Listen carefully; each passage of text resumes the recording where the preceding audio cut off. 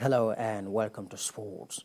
Now, more than 9,000 fans will travel with uh, One Charlton uh, for Tuesday's Carabao Cup quarter-final against Manchester United at Old Trafford.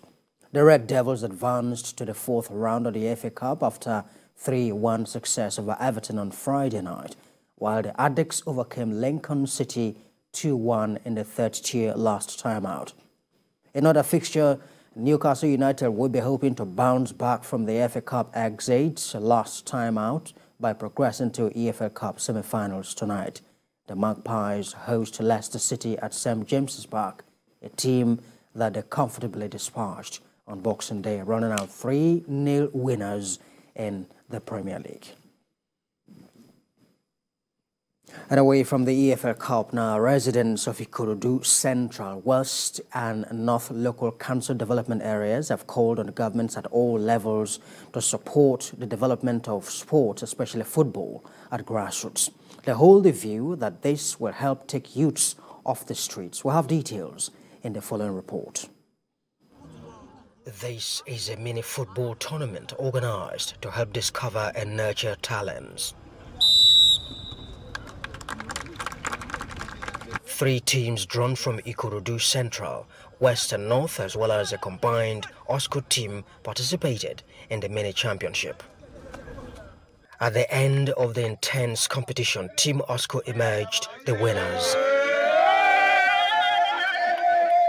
Organizer of the championship says the reason for the tournament is to help youths develop a career path. I've discovered that uh, we have a lot of young men and youths that are interested in sport, especially football, and on their own they are doing it. So I decided to bring the three uh, LCDA together so that we can play as a team together. It's just a charity game, and uh, I believe everybody's happy playing together today. Yeah, we use this uh, avenue to let the uh, young ones know that uh, they can also use their quality time in sporting activities, such as uh, football. And this can even go a long way to build their own uh, career. This is a very good idea. In fact, coming down to the grassroots will even help the Nigerian team. Of course, if you look at it now, the Nigerian team is not as solid as before. So if you can come down to the grassroots, you see good player, player that have zeal, player that want to make name. So it's a good, very good welcome idea. They also called on others who have interest in football to support the sport. There are lots of things to be done. Firstly, this is a stage is okay, this is what will bring all of them together. This is what will take them from the legalism. This is what can open their eyes and tell them, okay, you can still gain a lot from sport activity. It might not be only football.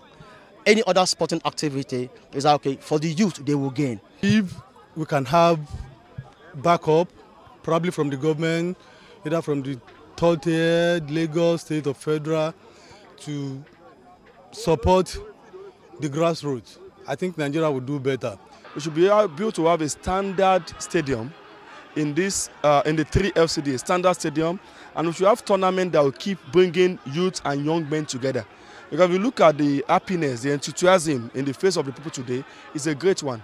It is their hope that relevant partners will support the cause to create opportunities for youths in the area.